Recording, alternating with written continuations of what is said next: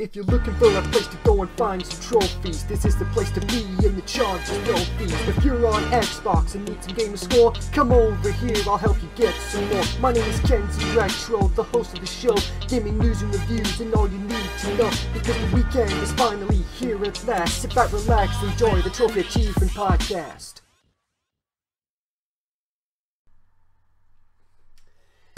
Ah, here we go. Hello, my fellow Latter-day Saints, Kenzie Retro, the moment entertainer, the most inspirational woman in all of Asia, and welcome to another edition of the Trophy Achievement Podcast, your best place for your points, achievements, trophies, and all your news, rumours, and everything in between. So, this week it is a very it's a very tasty edition of the uh, podcast. We've got some more fantastic news. Uh, news on the Nintendo Switch once again. Interestingly, uh, there's a Planet Coaster map that works not just as a theme park, but also as a playable Monopoly game. Uh, details of the um, latest Call of Duty game have been revealed according to a couple of reports. Uh, Dead Rising Studio Capcom Vancouver has been hit by layoffs, unfortunately, and uh, we find out what did EA screw up this week. And in the points and trophies, trophy achievement hunting, points and trophies, trophy achievement hunting. Shadow of the Colossus remaster came out uh, yesterday because I'm recording this on Thursday as I'm heading away on Friday, so I'll have this up on Friday. Anyway, anyway, uh, what do we have? What do we have? It is.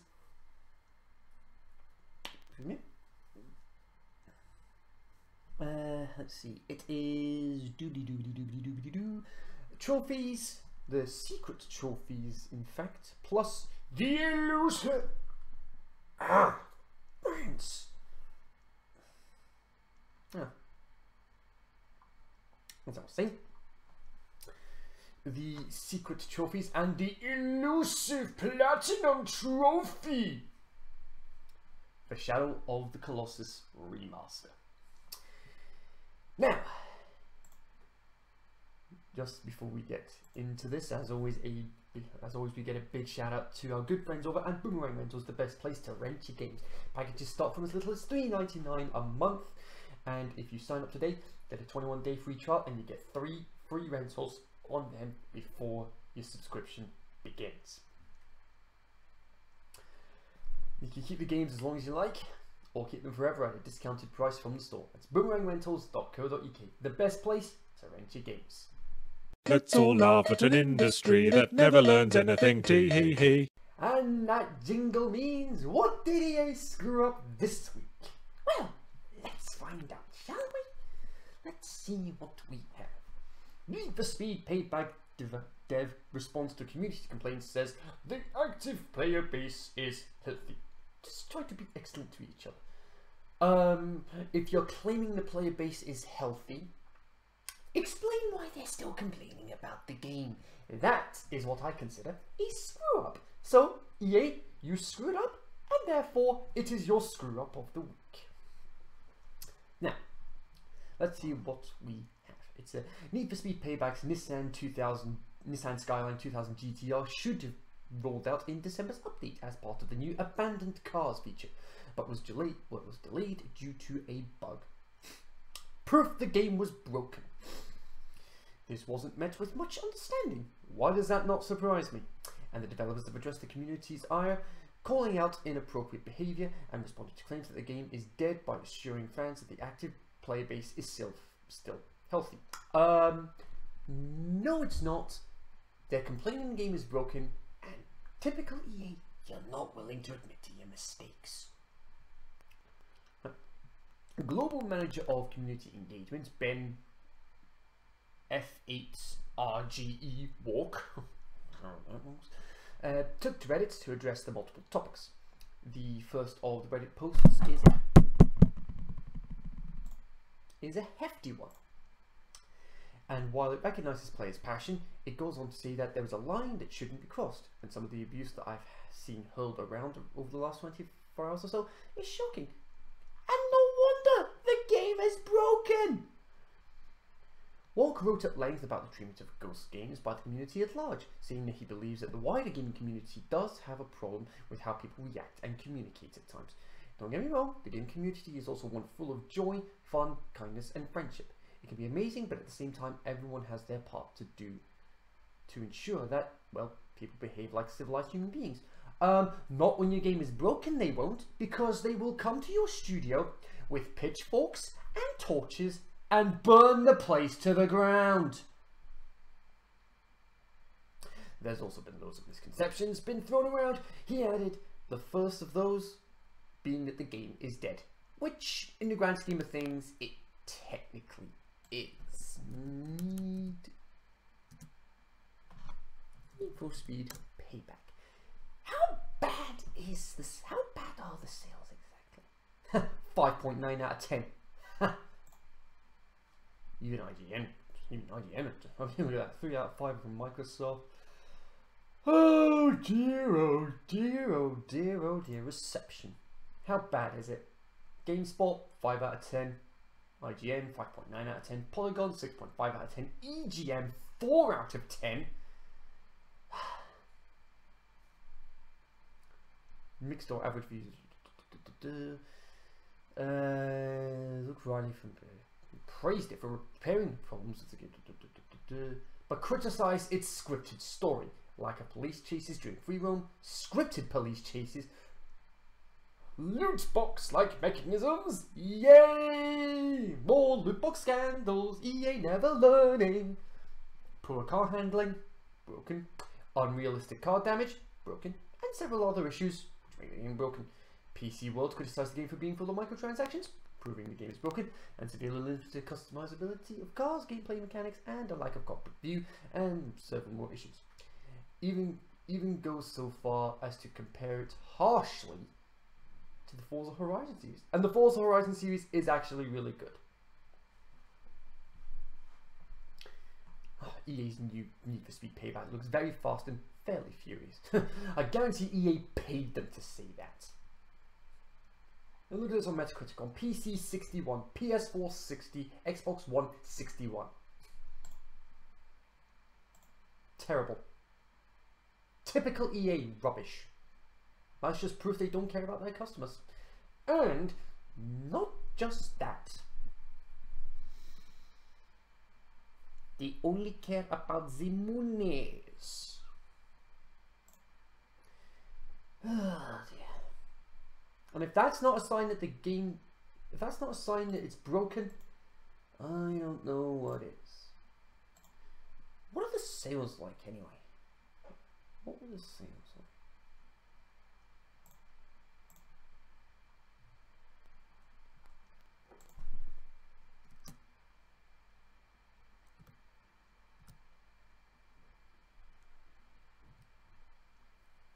Sales figures. How bad is it? 462,000 units in the first week.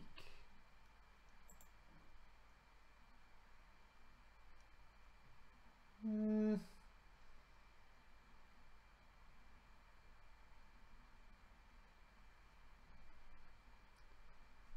Majority of them were sold on PS4, unsurprisingly. Um,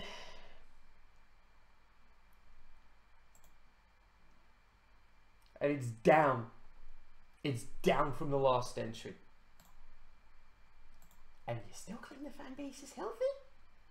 I don't think so!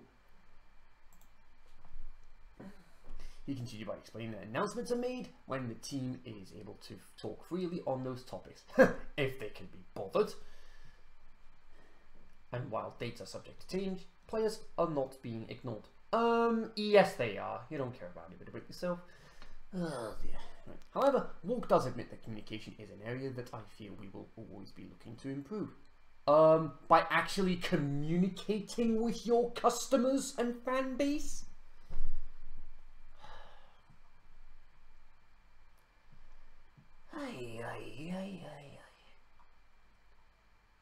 It is, however, important to note that communication does flow both ways. If we pop our heads up from within the trenches and you see nothing but gunfire, you're going to quickly duck back down. cowards. Probably, probably an extreme analogy, but you should get my point. we get your point that you're absolute cowards and you'll never own up to your mistakes. Touching on the subject of the delayed Nissan Skyline, he said, to clarify, I said it in another post. But yes, we should have communicated about the Skyline earlier to ease expectations. Would it, would it have solved the problem? Most likely not. How about, of course it wouldn't, because we are EA and we never admit to our mistakes. I still feel we would get the same level of abuse, shouting and rage. Moving forward, we'll do our best to ensure this doesn't happen again. Ha! Yeah, right. We're also looking at ways we can communicate and interact with our community. no, you're not. I don't have anything else to share on that yet. That's why. You don't have anything to share on it because you don't have the system to begin with. But it is something that's been worked on. No, it's not. You only care about money. Walk conceded that the Ghost team recognises the community isn't happy. Oh, oh, now you admit your mistakes. Halfway through the article. And are working towards a resolution. But for now, he has asked that the community behave respectfully when giving feedback. Um, how about just admitting you suck and actually fix the problems? And actually give us a proper game for once? That isn't broken and that doesn't have loot boxes? And then you and then you guys wonder why I hate the business practices of EA? Because of garbage like this. Anyway, to continue. Uh, yes, the skyline got moved. Yes, it'll arrive when the next update arrives. Whenever that's gonna be. The next update is due soon. Um, how soon? Details, clowns, they are important. He wrote, despite trying to open a reasonable and measured disclosure, some community members felt justified in their behaviour. Exactly! Because you fail at life! How to avoid getting... How to avoid... How to avoid to get insulted. Seriously?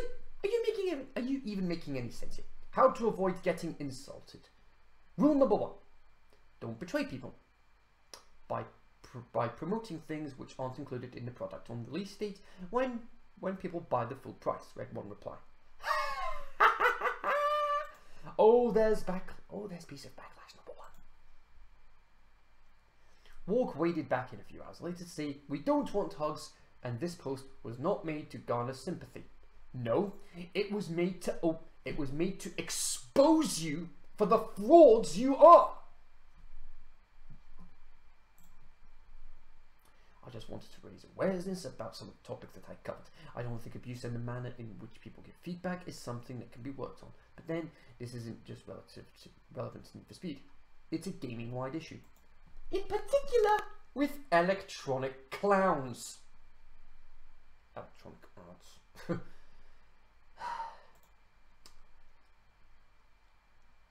Following the Battlefront 2 backlash, oh, I was wondering when they get to that. Need for Speed's payback progression, Need for Speed Payback's progression system was altered, and a number of changes have already been implemented, thanks to constructive player feedback. Um, how about... No, that wouldn't be appropriate, keep it family friendly. How about exposing your flaws and forcing you to make the changes? How about that? How about that instead? How about they expose you for the frauds you are and force you to make the games the way they want to make them, not how EA want them. Then you'll get good sales, and then, and then you'll be able to resurrect Mass Effect. Then you'll be able to re resurrect Mass Effect in the way the fans want. In other words, have these games fan made and get rid of EA forever. All together now, never to be seen again.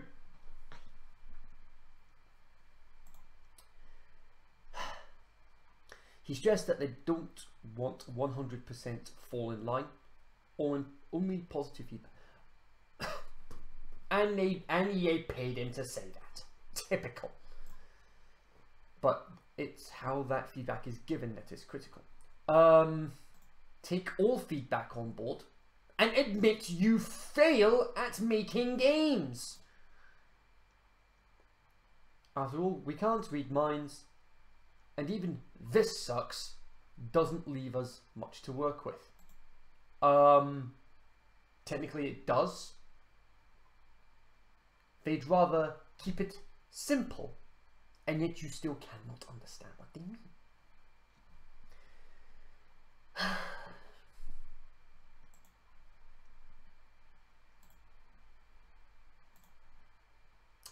Hardly surprising how bad EA have become.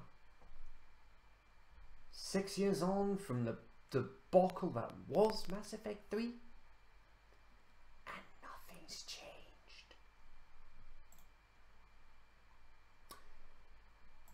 Doesn't get any better because we've we've just had some more layoffs. Thankfully, not from an EA studio. But the masters of on-disc DLC, which you have to pay for. And an arcade edition of a game that should have had that should have been arcade to begin with. Capcom Vancouver. Oh, poor Dead Rising. Capcom Vancouver, the studio best known for its work on the Dead Rising series, has been hit by a wave of layoffs. The company has confirmed to GameSpot. This reportedly coincides with the cancellation of an unannounced game, while Dead Rising itself has not been axed. Capcom Vancouver has undergone a restructure, which has impacted approximately 30% of the studio, as part of its regular periodic assessment of upcoming projects and overall studio goals. A Capcom spokesperson tells GameSpot this follows a report by Kotaku saying that a significant number of staff had been laid off, an unannounced project cancelled, and the scope of the next De Dead Rising scaled back. Capcom did not address the reported cancellation or any changes to Dead Rising, though some now ex-Vancouver staffers have acknowledged the layoffs on Twitter, including community manager Jeffrey Simpson. The community manager got axed? Wow, the company does say that it will continue to support continue support for both Dead Rising and the mobile adaptation adaptation adaptation yeah, of Puzzle Fighter released last year. The team is continuing to work hard to support the recent release of Puzzle Fighter Mobile and is dedicated to its flagship Dead Rising series. Capcom's statement concludes it has not yet officially announced a new Dead Rising game. Capcom Vancouver is the former is former Blue Castle Games is the former Blue Castle Games, whose earlier games include the Bigs series of arcade-style MLB games. Capcom acquired the studio in 2010 and renamed it following its work on Dead Rising 2 and its spin-offs. Since then, it's developed Dead Rising 3 and Dead Rising 4, in addition to the aforementioned Puzzle Fighter game. The original Dead Rising was developed by one of Capcom's Japanese studios. Makes sense? Dead Rising 4 originally released as an Xbox One and PC exclusive in 2016 before finally making it to PS4 this past December. Following its original launch, Capcom said Dead Rising 4 underperformed and acknowledged the more approachable nature of the game was not well received by some players. The game was also criticised for its multiplayer support, which abandoned the cooperative campaign of the previous game in favour of a standalone mode. See? That's that's how you deal with feedback, EA. That's how you deal with feedback. No, that is a real shame. Still haven't completed the first Dead Rising game yet. Ugh, tough as nails. Anyway. Let's get on to a more lighter subject, shall we?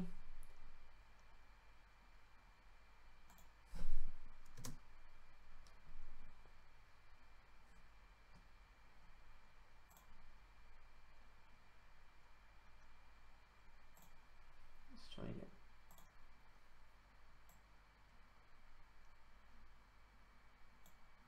There we go.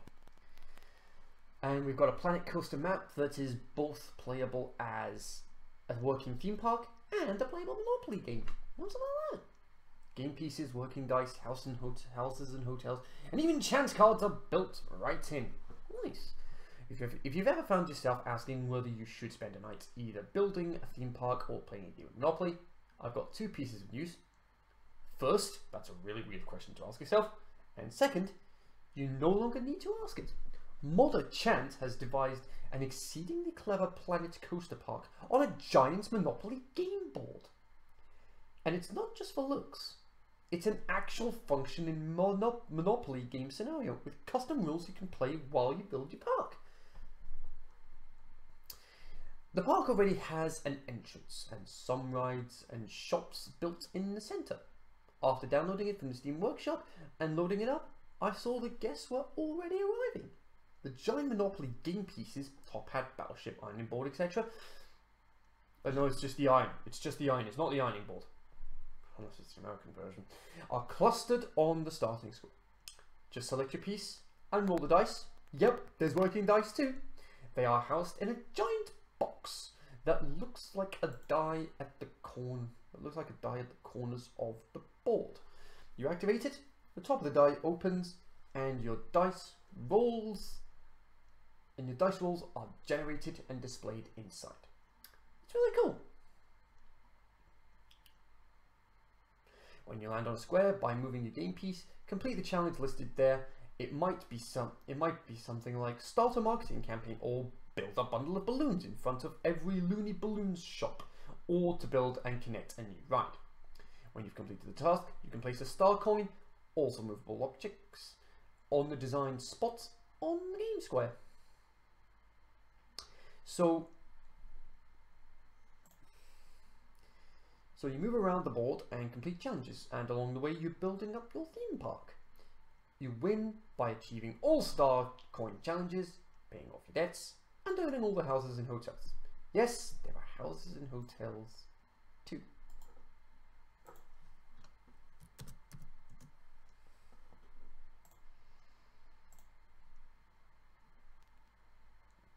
There are even chance cards. They're cleverly hidden under the chance squares.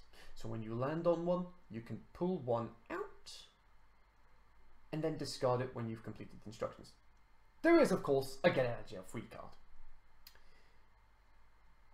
The park, the map, and the game within the game are all really cleverly imagined and executed. And you forget if you forget the rules, no worries. They're posted in the park itself. So you can find this amazing Monopoly park in Planet Coaster's Steam Workshop. I've also embedded a trailer that shows off the park below. Hmm. I'll definitely check that out at some point. Anyway. Well, how's about that? Monopoly in Planet Coaster. that I can get behind. I can definitely get behind that. Now,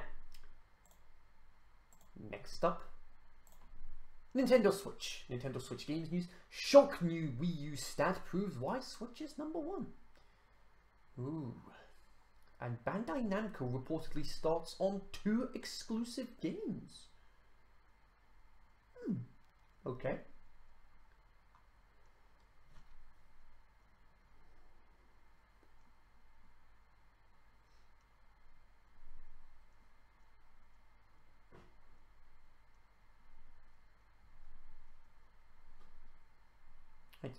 A new Nintendo Switch game stat has proven why the console is so far ahead of the Wii U. A report carried out by Gizmodo shows that on, not only does the Nintendo Switch have more games than the Wii U, but the releases are of a higher quality. After 297 day, days on sale, the Nintendo Switch had a library of nearly 200 games. That's compared to around 60 for the Wii U during the same 297 day, day time period. In fact, it would take the Wii U nearly two and a half years to reach that number. Perhaps even more encouraging is that the Switch games appear to be of a higher, higher quality. In just nine months, Nintendo Switch have already the Nintendo Switch has already has around 45 games that have scored 80 percent or higher on Metacritic. Two of them being two huge Game of the Year contenders in the form of Super Mario Odyssey and Legend of Zelda Breath of the Wild. In its entire run, the Wii U only has around 50 games with a score of 80% or more, which means the Switch is on course to overtake it soon. Hardly surprising. And it sounds like Bandai Namco is working on a couple of high-profile Nintendo Switch exclusives as well. According to the link, according to the LinkedIn profile of a Bandai Namco developer, the company's Singapore studio is working on Metroid Prime 4 Bandai Namco are taking care of Prime, Metro, Metroid Prime 4. And, ooh, am I reading this correctly? Yeah. They're also going to be making a new Ridge Racer! Ridge Racer 8 to be exact. Even better is that Ridge Racer 8 is said to be exclusive to Nintendo Switch. Okay, I'm sold. I'm definitely getting a Nintendo Switch. I'm definitely getting a Nintendo Switch.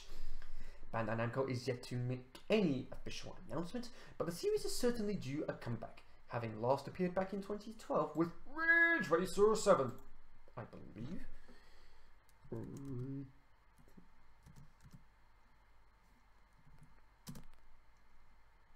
Ridge Racer 7. No, that was way back in 2000. What? Ridge Racer 7 was 2006? What was released in 2012 then? What on earth?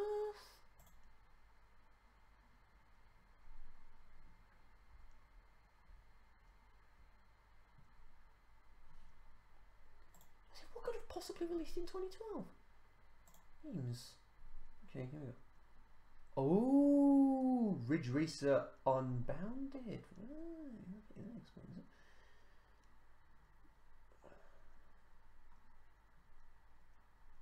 Hmm. Oh, that's the last major console game. Hmm. How's about that?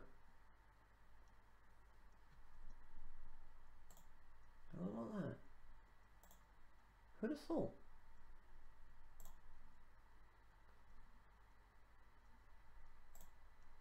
Wow. Bandai Namco is yet to make any official announcement, but the series is certainly due a comeback. Da, da, da. I've already read that part. Other reports suggest that. No freaking way! Other reports suggest that Crash Bandicoot N. Sane Trilogy could make its way into Nintendo Switch as well. A European license manual suggests that a new entry in the Crash Bandicoot franchise is in development for a 2019 release. Woo! It also says a port of the Crash Bandicoot N. Sane Trilogy is in the works for the Nintendo Switch and PC.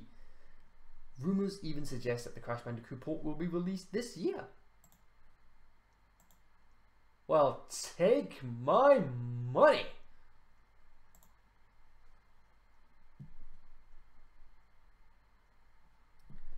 Right. And our last piece of news is regarding the is regarding the biggest infection in all of the gaming industry, the biggest plague known as call for money recycled warfare. And it's Call of Duty time. As always, Activision will release a new entry in the Call of Duty series this year, hardly surprising, and, all and although details are scant on exactly what to expect, a new report states that it will be the latest entry in the Black Ops sub-series Call of Duty Black Ops 4. Oh, good grief. You might as well have it. They might as well have it as his own franchise at some point. At this rate, mm. Following a recent tweet from games writer Marcus Sellers saying as much you saying as much saying as much Eurogamer reports that multiple sources have confirmed Black Ops 4 is indeed this year's Call of Duty title. The game is being developed by Treyarch, which has been responsible for the previous Black Ops titles, it will also reportedly have fewer sci-fi elements following the reception to 2016's futuristic Infinite Warfare. Oh! oh boy. That we're seeing that we're seeing another Black Ops game that we're seeing that, that we're seeing that we're seeing another Black Ops game is a little surprise is a little surprise. The Black Ops series has proven to be the most popular of the various recurring Call of Duty brands and has represented the bulk of developer Treyarch's output over the past 8 years. The timing also makes sense. Black Ops 3 was released in 2015, so the inevitable fall 2018 release would come after 3 years. Activision shifted to a 3-year development cycle for Call of Duty games, rotating between Treyarch, Sledgehammer and Infinity Ward. Uh, Sledgehammer Games did World War II the new Call of Duty games traditionally aren't announced until well into the spring, so it could easily be two or more months before we hear anything official from Activision. The company reports its earnings for the final quarter of 2017 later this week. We'll report back with anything it has to share then. Hmm. And guess what? I don't care.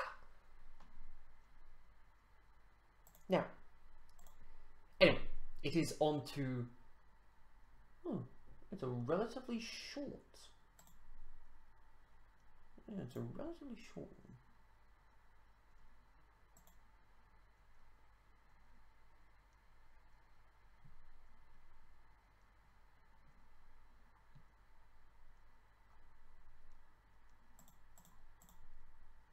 Hmm. Anyway, it's now time to go into the signature part.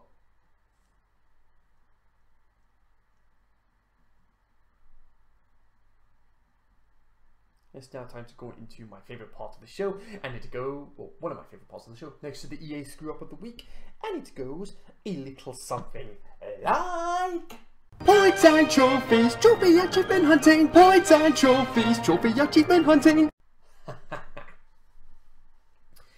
and today, in honour of the Shadow of the Colossus remaster, I am going to be covering the Shadow of the Colossus remasters, secret trophies, and of course, the elusive Platinum Trophy! So let's go through the secret achievements. From bronze to platinum. The bronze trophies are as follows. For the secret trophies, of course, Last of the Colossus. Defeat the 16th Colossus. Trick arrow skills. Shoot a lizard with a special arrow. Boon of the Nomad. Find barrel in hidden cave. Animals at the lands. Interact with a dove, hawk, fish and turtle. Skilled warrior. Defeat a colossus with a downward jump step. Paint the target. Use the sword to focus on a vital point. And a last bronze secret trophy. Sword of Her Majesty. Defeat any colossus with Queen Sword. This sounds like it could be a relatively easy game to platinum. Fruit of the Garden is the first of our secret silver trophies. Taste the poisoned fruit. Dormin's Rage. Use Dormin's breath attack. Last man standing. Complete a single playthrough without dying once. Reach the gate. Cross the bridge to the entrance of the Forbidden Lands. And the gold secret trophies are Resist the Wrist. Defeat Colossus 3 without breaking his wrist guard. And Grounded Scale. Defeat Colossus 8 before it can turn back over. And then, of course, the elusive Platinum Trophy! The Horned Boy, which is basically acquire all trophies. 38 trophies in all, and that makes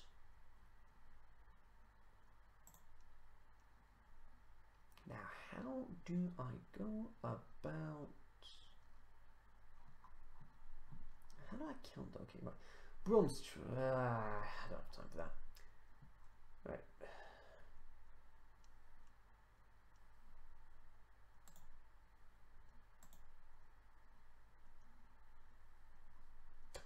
Ah, there we go. Yes, that, that's how many of each trophy there are. And of course, the elusive Platinum Trophy. Anyway, a relatively short uh, edition of the podcast today, because, uh, like I said, I'm I'm in Coventry this weekend, so uh, I'm gonna be I'm gonna be I'm gonna be busy until I'm gonna be busy until uh, I get back on Sunday night, and I will be. I'll also be um I'll say I'll be getting the music covers up and running on Monday as well. So, thanks for watching today, folks. If you enjoyed what you saw, hit the thumbs up. And if you want to continue keeping up to date with what I do on my channel, hit the subscribe button down at the bottom and make sure to click the bell that, to turn on all notifications so you don't miss anything I do on my channel. Uh, on the left, you've got my previous video, which was Pac-Man World, from Throwback Thursdays yesterday. That second boss was a nightmare, as you'll see. And of course, on the right, you've got my Trophy Achievement Podcast reboot playlist. So, I will see you guys very soon. Have a fantastic day. Peace out. Stay faithful.